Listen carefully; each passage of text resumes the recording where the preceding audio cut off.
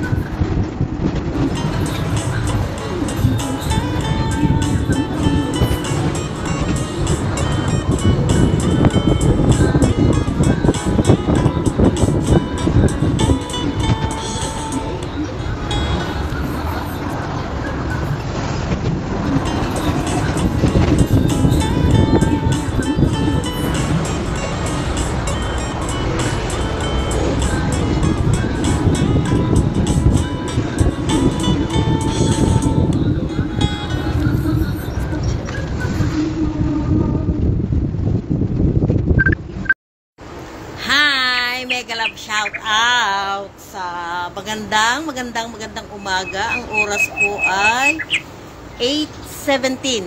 Ah, nandito ako ngayon sa Kennedy Town, isang lugar dito sa Hong Kong na kung saan ay may libreng pabunot ng ngipin. Ah, ito yung ipapatanggal ko. Sabi nga noong aking kaibigan, kung tawagin ko ay darling, ay totally renovation ang magaganap. Kaya, pero bago po ako pumunta sa ah, clinic, ay kailangan kong lagyan muna ng ah, kaunti ang aking tiyan para naman hindi tayo mahilo kasi parang gutom ako. Anyway, kasi kagabi, kailangan pumila at alas 12 sila nag-uumpisa na magbigay ng numero. At ako ay pang number 18. Yan.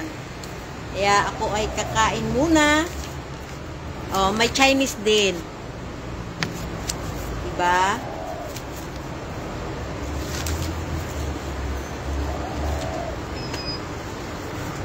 At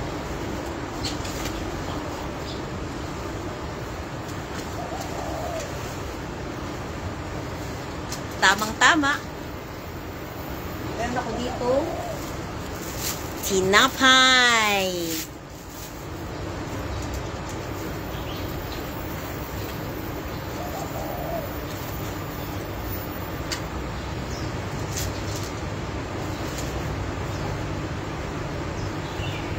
yung aking kaibigan na nanggaling sa Pilipinas ay may pasalubong na tupig.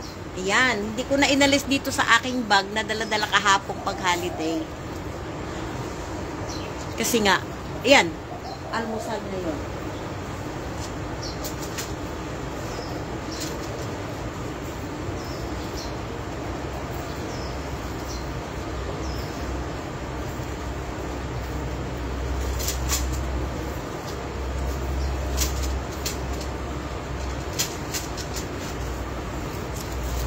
Kumain ng tupig.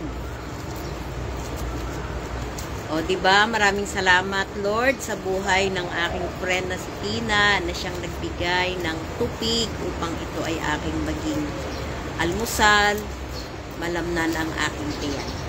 Let's eat!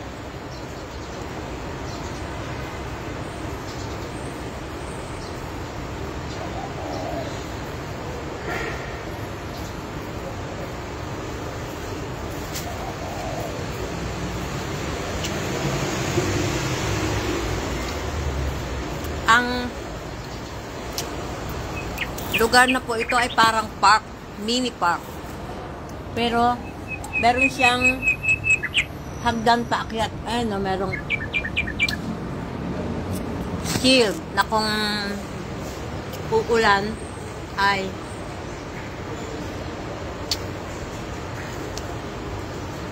makakabasa din to kasi maliit lang siya.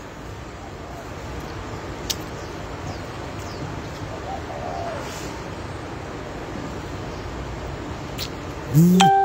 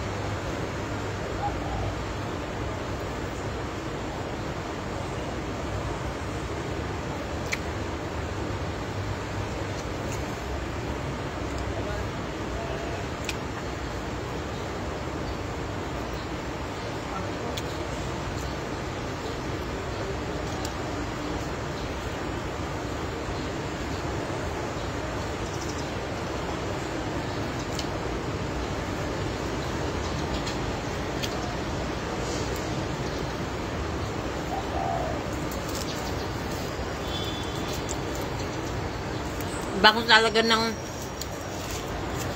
dahon ng saging.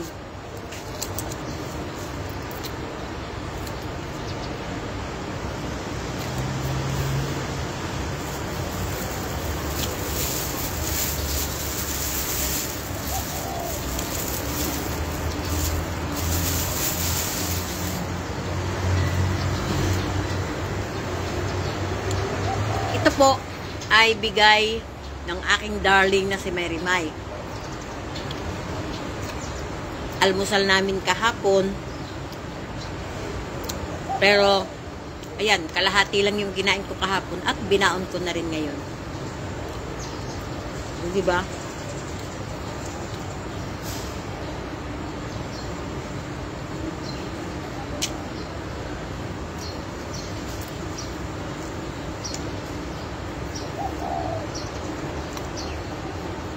May naamoy akong kakaiba. Panghi.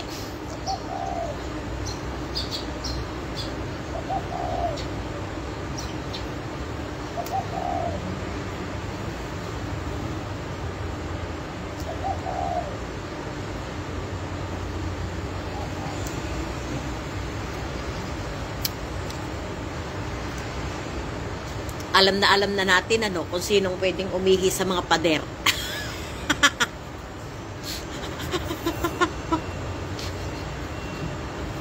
Kayo ah.